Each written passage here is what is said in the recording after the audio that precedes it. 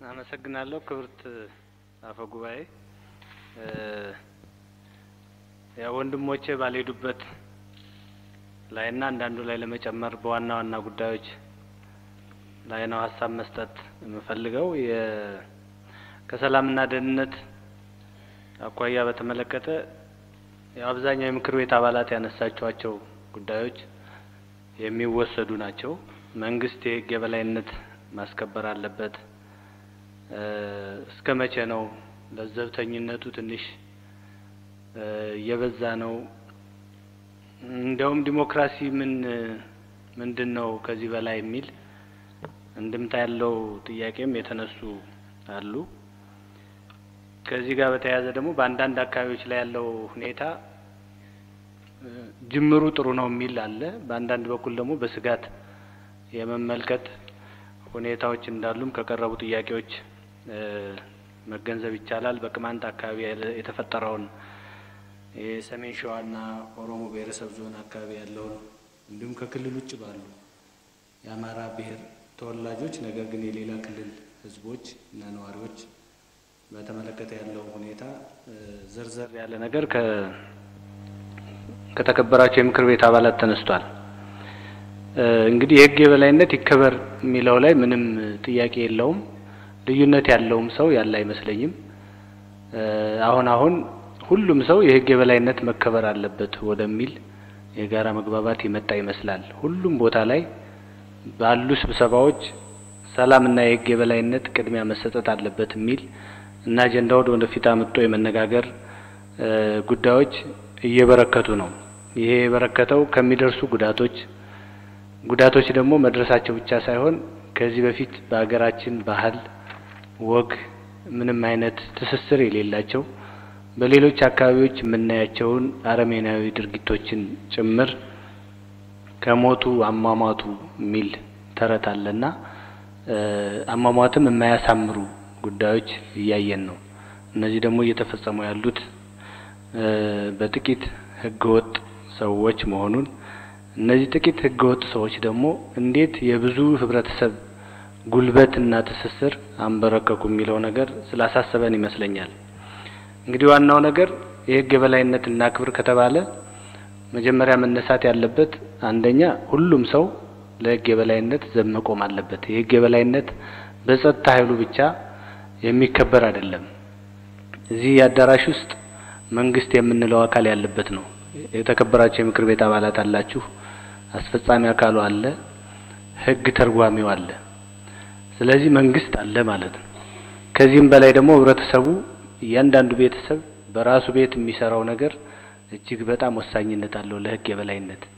አሁን ባለው ሁኔታ አጠቃላይ ማህበረሰባዊ ትስስራችን እንዲሁም ደግሞ በተለይ በወጣቶቻችን ላይ ያለው አስተምህሮና ስነ ልቦና ታላቅን የማያከብር እርስ በርስ የማይከባበር እና የበለጠ አሰቃቂ ነገሮች ውስጥ የሚገባ አይነት ስነ ምግባር ያላቸው ቀላል አይደሉም። ስለዚህ ራሳችን ልጆቻችንን ስናሳድግ ከቤታችን መነሳት እንዳለብን የሚያስረዳን ነገር አለ። ማህበረሰባዊ ስብራት እንደደረሰብን ዞር ብለን ያየነው ይመስለኛል። ስለዚህ ሁሉም ማህበረሰብ ሁሉም ኢትዮጵያዊ ልጁን እንዴት ነው የሚያሳድገው? ለራሱ ይታዘዘዋል ወይ? ለቤተሰቡ ይታዘዘዋል ወይ? ታላቁን ያከብራል ወይ? ከዚህ በፊት የነበሩ የማህበረሰብ አስተምሮዎች እየተከበሩ ነው ወይ የሚለውን ነገር ማየት የሚያስፈልግ ይመስለኛል። ስለዚህ ቤተሰቡን የማያከብር ታላቁን የማያከብር ሌላውን ሰው የማያከብር ወደ ማህበረሰቡ ሲወጣ ደግሞ ማህበረሰቡን የማያከብር ዜጋ እየፈጠርን በሄድን ቁጥር የህግ የበላይነት ህግ የሚባለው ነገርም የሚጣስበት ነገር እየሰፋ ይሄዳል ከዚህ መጀመር አለብን ብዬ አስባለሁ። ስለዚህ መንግስትም ህግ ማስከበር ስንል እያንዳንዱ ዜጋ ህግ ማክበርንም ማስተማር መቻል ያስፈልጋል። ሁሉንም በቁንጥጫ ሁሉንም ደግሞ ህግ በማስከበር ብቻ የምንፈታው ሳይሆን አስተምህሯችንን ማስፋት ያስፈልጋል። ለዚህም የተከበራቸው የምክር ቤት አባላት በሁሉም አካባቢ ለህግ መከበር ለሰላም ዘብ መቆም አለብን የሚል ለማሳሰብ ጭምር ነው። በሌላ በኩል እንግዲህ ለውጡ ካመጣው ጉዳይ ጋር ተያይዞ የሚታዩ ጉዳዮችም አሉ። እንደምናውቀው የዲሞክራሲ ስርዓቱን ለማስፋት በርካታ ሰዎች በምህረት በይቅርታ ከእስር ቤት የሚወጡ አሉ። በጫካም የነበሩ የተመለሱ አሉ። ከውጭ ሀገርም ወደ ሀገር ውስጥ የገቡ አሉ። ነገር ግን አብዛኛው ሰላማዊ ትግል ያስፈልጋል የሚለውን መስመር ተከትለው የሚሄዱ ቢሆንም ጥቂት ግለሰቦችና ቡድኖች ደግሞ አፍራሽ የሆኑ እንቅስቃሴዎችን በመከተል የበለጠ ሕግ በመጣስ በህብረተሰብ ሕይወት በዜጎች ንብረት ላይ አደጋ የሚያደርስ ስነ ምግባር የጎደለው አካሄድ እየሄዱ ነውና በዚህ በኩል ያለው ነገር መንግስት ሕግና ስርዓት ማስከበር አለበት የተባለው ትክክል ነው። የክልላችን መንግስትም ይሄንን ያለ ምህረት እየታገለ ነው። ሌሎችም ተመሳሳይ ነገር እንዲሄዱ በምናገኛቸው አጋጣሚዎችና መድረኮች ሁሉ እየታገልን ነው። ዋናው መፍትሄም ይሄ ነው ብለን እናስባለን። ስለዚህ ከክልላችን ውጭ ያሉ የማህበረሰብ ክፍሎችም ሁሉም ህዝብ እንደኛ ይጨነቃል በህግ የበላይነት፣ ሁሉም ህዝብ እንደኛ ይወያያል በህግ የበላይነት። አንዱ ህዝብ ሌላው ህዝብ ላይ የተነሳ አድርገን የምናየው ነገር ብዙ ጥሩ አይመስለኝም። የተሳሳተ እንዳይሆን ሁሉም ህዝብ ሳይሆን ጥቂት ግለሰቦች፣ ጥቂት ቡድኖች ከሁሉም አካባቢ፣ ከሁሉም ክልል፣ ከሁሉም ብሔር ብሔርንና አካባቢን መከታ በማድረግ የሚያደርሱትን ጥፋት በጋራ ልንታገል ይገባል የሚለው መሰመር አለበት ለማለት ነው። በሌላ በኩል ከ ከዚሁ ከሰኔ አስራ አምስት ጋር በተያያዘ የተነሱ ጉዳዮች አሉ። የሰኔ አስራ አምስት አንዱ መታወቅ ያለበት ነገር የምርመራ ስራ ለመርማሪዎች ነው መተው ያለብን። ማንም ሰው በምርመራ ስራ ውስጥ ገብቶ ሀሳብ መስጠትም አይችልም። የምርመራ ስራ ለመርማሪዎች ነው መስጠት ያለብን። ስለዚህ ይሄ የምርመራ ውጤት በሚገለጽ ሰዓት ወደ ሌላ ነገር እንዳይወስደን በሚል የተከበሩ የምክር ቤት አባል ያነሱት ስጋት ብዙ ውሃ የሚቋጥር አይመስለኝም። ይሄ ለሌላ ጥፋት እየተዘጋጀን ነው የሚል መልእክት ያለው ይመስላል። ከዚህ መታረም አለብን። ከምንም በላይ የተጎሳቆለ ይሄ ክልል ነው። ከምንም በላይ የተጎዳ ይሄ ክልልና ይሄ ህዝብ ነው። ግን የዚህ ክልልና የዚህ ህዝብ መሪዎች ብቻ አልነበሩም። መሪዎቻችን የሀገራችን መሪዎች ነበሩ፣ የኢትዮጵያ መሪዎች ነበሩ። ስለዚህ በዚህ ጉዳይ ላይ መርማሪ ቡድኑ የደረሰበትን ጉዳይ ይፋ ሲያደርግ በጣም ጥንቃቄ ይደረግ የሚለው ጉዳይ አይገለጽ ከሆነ ይገለጻል፣ ሲገለጽ ሌላ ነገር ይከተላል ከሆነ ደግሞ የሚከተለውን ነገር እንቋቋመዋለን እንዳመጣጡ። ምክንያቱም ይሄ የምርመራ ስራ ነው። የሌላ ስራ ሊሆን ስለማይችል ማንኛውም ሰው ገብቶ መመርመር ስለማይችል ቀድሞ ከሌ ወንጀለኛ ነው ብሎ መፍረድ ስለማይቻል፣ ስለዚህ ይሄን በጥንቃቄ መመልከት ለሁሉም ሰው ይጠቅማል። ሌላ ጉዳት የምናስተናግድበት ትከሻም የለንም፣ አቅምም የለንም። ህዝቡም ይሄን አይቀበልም። ስለዚህ በዚህ በኩል ያለውን በጥንቃቄ ማየት ያስፈልጋል። ነገር ግን ለዚህ የተከበረ ምክር ቤት ሪፖርቱን ያላቀረብንበት ምክንያት ይሄ አጠቃላይ የተፈጸመው ድርጊት በክልላችን ብቻ ሳይሆን በፌዴራል መሪዎች ጭምርም ስለሆነ ሁለቱ ትስስር ስላላቸው በፌዴራልም በክልልም ያለው የምርመራ ውጤት በጋራ መግለጫ መሰጠት አለበት በሚል የተጓተተ ካልሆነ በስተቀር በእኛ በኩል አጠናቀናል። ለተከበረ ምክር ቤት ማቅረብ ነበረብን። ነገር ግን ከፌዴራል ጋር የጋራ ማድረግ ስለሚያስፈልግ አንዳንድ ትስስሮች ካሉም እሱም ማየት ስለሚያስፈልግ የዘገየ ነው። ሌላ ጊዜ አስፈላጊ ከሆነ የምርመራ ውጤቱን ለምክር ቤት ማቅረብ እንደሚቻል ለማሳሰብ ነው። በሌላ በኩል አንዳንድ አካባቢዎች ላይ ያለው ወቅታዊ ሁኔታ ምንድን ነው የሚል ቅድም የተከበሩ አቶ አገኘሁ የሄዱበት አለ። ነገር ግን የተወሰነ ነገር ለመጨመር በቅማንትና አካባቢው የተደረገውና አሁን የተፈጸመው ነገር በዚህ በተለይ ኮሚቴው ከገባ በኋላ አንጻራዊ ሰላም ሰፍኗል በየአካባቢው። ነገር ግን ይሄን ሰላም ማስቀጠል የምንችለው ህብረተሰቡ እርስ በርሱ ከዚህ በፊት የነበሩ ችግሮችን በጋራ ሲፈታ ነው። ለዚህ ደግሞ የተከበራቸው የምክር ቤት አባላት ሚና የጎላ ነው ብዬ አስባለሁ። ለሰላም የክልሉ መንግስት ከግማሽ መንገድ በላይ ሄዷል። ይሄን ያደረግነው በዚያ ግርግር፣ በዚያ ሁከት እና በዚያ መጥፎ ድርጊት እየተጎዳ የነበረው የክልሉ ማህበረሰብ ስለሆነ ብቻ ነው። ንጹሐን ዜጎች ስለሆኑ ብቻ ነው። ኮሚቴውም አይደለም፣ ሌሎችም አልነበሩም። ስለዚህ ከኮሚቴውም በላይ ንጹሐን ዜጎች ላይ የሚደርሰውን ግፍና በደል ለማስታገስ የሰላም ድርድሩ መቀጠል አለበት በሚል ወስነን እየተንቀሳቀስን ነው። አልተጠናቀቀም። አሁንም ሂደት ላይ ያሉ በርካታ ነገሮች አሉ። በርካታ የኮሚቴ አባላት በተለይ ፊት መስመር ላይ ያሉ ገብተዋል። የሚቀሩ ነገሮች ቢኖሩም ብዙ አይደሉም። ነገር ግን ይሄ ማለት ነገ ከነገ ወዲያ ድርድር ተደርጎ የምንደርስበት ዘላቂ ሰላም ላይ እስከምንደርስ ድረስ የህብረተሰቡ ሚና የተከበራቸው የምክር ቤት አባላትም ሚና የእያንዳንዱ አስፈጻሚ ሚና የጎላ መሆን መቻል አለበት። ከሁለቱም በኩል ዋናው የውስጣችንን ስናርም ነው ከውጭ የሚመጣውን ጥቃት መከላከል የምንችለው የሚለውን ነገር ማስመር እፈልጋለሁና በዚህ አካባቢ የሚታዩ አንዳንድ ዝንባሌዎች አሉ። አንዳንዱ ጥሩ የሽምግልና ስራ የሚሰሩ በርካታ ሰዎች አሉ። ለዚህ ይሄንን ማመስገን ያስፈልጋል። ነገር ግን በአንዳንድ በኩል ደግሞ ተሟጋች የሚመስሉ የሽምግልና እንቅስቃሴዎች አሉ። እነዚህ የሰላም ሂደቱን የሚያጨናግፉ እንዳይሆኑ መታረም ያለባቸው እንደሆኑ ሁሉም የህብረተሰብ ክፍል ከእንደዚህ አይነት ሽምግልና ውስጥ የገቡ ሰዎችን እረፉ ማለት ያስፈልገዋል። ሽምግልና በባህላችን የሚታወቀው ግራቀኙን ሰምቶ የተዛባ ነገር አርሞ አንዳንድ ጊዜም ደግሞ ዋሽቶ ያስታርቃል ነው የሚባል በእኛ ባህል ሽምግልና። ከዛ ውጭ ግን ለአንደኛው አካባቢ ወግኖ መሟገት ከሆነ ያ ሽምግልና አይባልም። ስለዚህ በዚህ አካባቢ ያሉ ጉዳዮች እንዳሉም አይተናል። በሃይማኖት አባቶች በኩልም ጥሩ የሆኑ አባቶች እንዳሉ ሁሉ ሚዛናዊ የሆነ ፍርድ የሚሰጡ በእውነት ለሰላም የቆሙ አባቶች እንዳሉ ሆኑ አልፎ አልፎ ደግሞ በአንዱ ወገን ወግነው የመብት ተሟጋጅ ጠበቃ የሚመስሉ ደግሞ የሃይማኖት አባቶችም አሉ። እነዚህም እረፉ ሊባሉ ይገባል። ይሄን እነዚህን ሰዎች በትክክል ማረም ስንችል ነው የሰላም ጥረቱን በሚገባ ማስታገስ የምንችል እና ማሳካት የምንችል የሚል ሀሳብ አለኝ። አሁን አንጻራዊ ሰላም አለ። ይህን ሰላም ለማስቀጠል ግን አጠቃላይ የድርድር ሂደቱን በሚገባ መስራትና መፈጸም ያስፈልጋል የሚል ሀሳብ አለኝ። ሰሜን ሸዋና ኦሮሞ ብሔረሰብ አስተዳደር አካባቢ ያሉ ጉዳዮችን በተመለከተ ቅድም የተወሰነው ነገር ተጠቅሷል። የመጀመሪያው ያደረግነው ነገር በአመራር ደረጃ መገምገም ነው። የሀገር ሽማግሌዎችን ከሁለቱም በኩል ስናናግር የነገሩን ነገር ራሳችሁ ተስተካከሉ ነው። አመራራችሁን አስተካክሉ፣ የሚያዋጋን እሱ ነው። ስለዚህ አመራራችሁን ካስተካከላችሁ በእኛ በኩል በህዝቡ በኩል ችግር የለውም፣ እኛ ራሳችን ሁሉን ነገር እናስተካክለዋለን የሚል ሀሳብ ነው ያቀረቡልን። ከዚያ በኋላ በቀጥታ የሄድነው ወደ አመራሩ ግምገማ ነው። የሁለቱን ዞን አመራሮች የሁለቱን አጎራባች እና ግጭት የተከሰተባቸው ወረዳ አመራሮች ይዘን አንድ ቀን የፈጀ የግምገማዊ ውይይት አድርገናል ማለት ነው። ስለዚህ አመራሩ በሁለቱም በኩል እርስ በርስ የመወራወር እንጂ ችግር የመፍታት ጉዳይ እንዳልነበር ገምግመናል፣ አይተናል፣ አስተካክለናል። በዚህ መሰረት አመራሩ ተስተካክሎ ወደ ህዝቡ እንዲወርድ ነው ያደረግነው።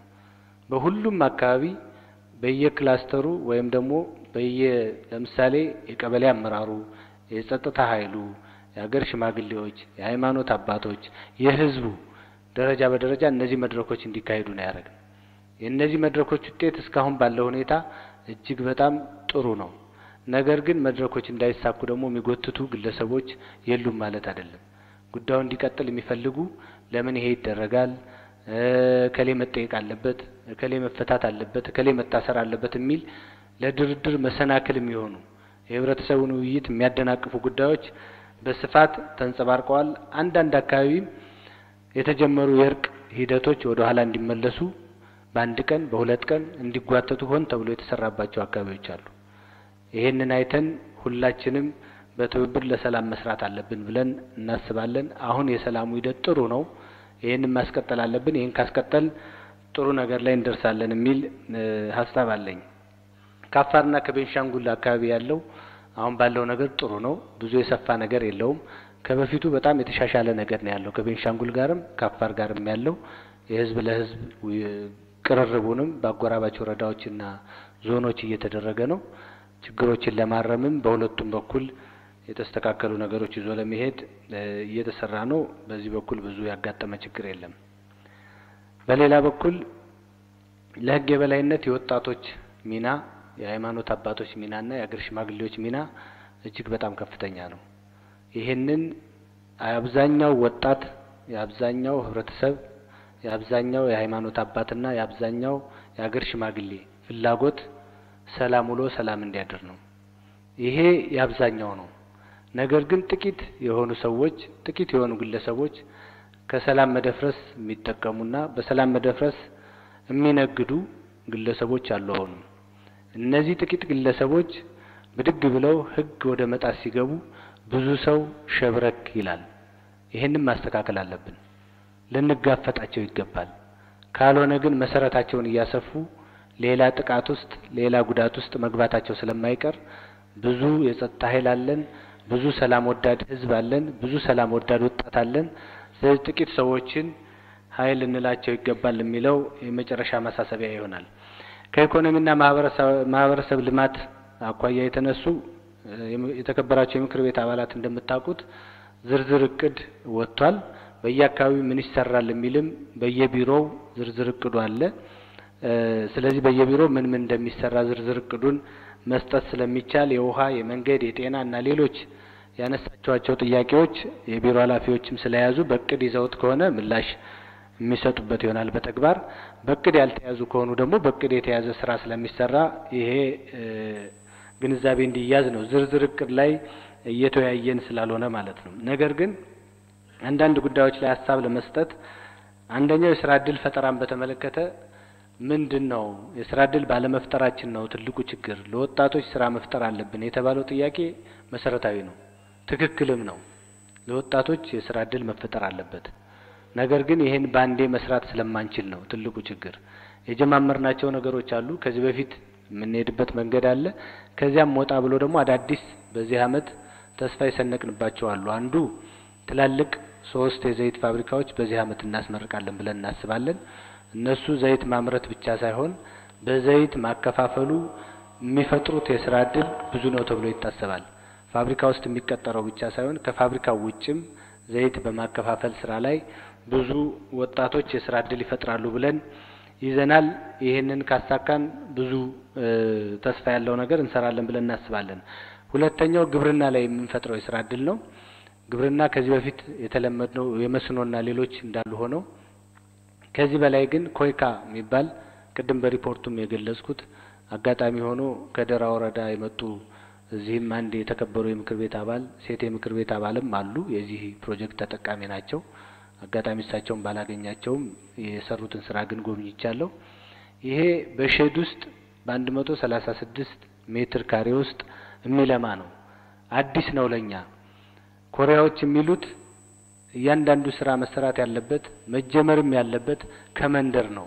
መንደርን እያንዳንዱን አርሶ አደር ህይወቱን ስንቀይረው እና ትርፍ ሲያመርት ነው ወደ ኢንዱስትሪ መሸጋገር የምንችል የሚል መከራከሪያ አላቸው። ለዚህም ደራ ወረዳ ላይ የጀመሩት ሀያ ዘጠኝ አካባቢ አርሶ አደሮች ላይ ተስፋ ሰጪ ነው። በጣም ተጠቃሚ አድርጓቸዋል። ክረምት ላይ ቲማቲም አምርተን አናቅም። አንድ መቶ ሰላሳ ስድስት ሜትር ካሬ ማለት አስራ ሁለት በአስራ ሁለት ወይም ደግሞ ሚዲያዎች የቆሙበት አዳራሽ ትንሿን የምታክል ቦታ ናት። እቺ ቦታ ብዙ አይደለችም፣ ለአርሶ አደሩም አትጎዳም። ብዙ የስራ እድል የሌላቸው የተማሩ ወጣቶች በአርሶ አደሩ ውስጥም ስለሚገኙ ውሃ ባለበት አካባቢ ሁሉ ይህን ፕሮጀክት በማስፋፋት ብዙ የስራ እድል እንፈጥራለን ብለን ተስፋ አድርገናል። ትልቅ ተጠቃሚነትንም ያመጣል ብለን እናስባለን። ወደ ሌሎች ብዙ ማምረት ከጀመርን በኋላ ደግሞ ወደ processing ወደ ትናንሽ processing በማስገባት በዚህ አካባቢ ያለውን የአትክልትና ፍራፍሬ ላይ ብዙ መስራት አለብን ብለን አስበናል። በዚህም ወደ አራት የሚጠጉ ዞኖች ከዚህ ማስፋት አለብን በሚል የአንድ ሳምንት ስልጠና እየተሰጠ ነው ባህር ዳር ላይ። ይህንን አስፍተን ስንቀጥል የወጣቱን የስራ እድል ፈጠራ ማስፋት እንችላለን ብለን እናስባለን። ስለዚህ የወጣቶች የስራ እድል ፈጠራ በሁሉም ዘርፍ ላይ በኢኮኖሚ ዘርፍ፣ በማህበራዊ ዘርፍ እና በሁሉም ዘርፎች ላይ የወጣት የስራ እድል ፈጠራ አብሮ እየተገመገመ የሚመራ መሆኑን በዚህ አጋጣሚ ለመግለጽ ነው። ራሱ የጥቃቅንና አነስተኛ ኢንተርፕራይዞች ልማት ቢሮ የሚሰራው ስራ መደበኛ ስራችን እንዳለ ሆኖ እነዚህን ወጣ ያሉ ጉዳዮች ማየት ያስፈልጋል። እነዚህን እያየን ነው። በሌላ በኩል የተነሳው አገልግሎት አሰጣጥን በተመለከተ ነው። አገልግሎት አሰጣጥ ላይ የተነሳው ነገር ትክክል ነው። ነገር ግን በአገልግሎት ሰጪው ብቻ ሳይሆን በአገልግሎት ተቀባዩ በኩል ያለውንም ችግር ማየት ያስፈልጋል። አገልግሎት ተቀባዩ አገልግሎቴን ፍትሐዊ በሆነ መልኩ ማግኘት አለብኝ በሚል ከምንም ነገር ነጻ ሆኖ ታግሎ አገልግሎቱን ማግኘት አለበት። መታወቂያም ቢፈልግ ሌሎች ጉዳዮችን ቢፈልግ ለምንድን ነው ወደ እጅ መንሻ የሚገባው?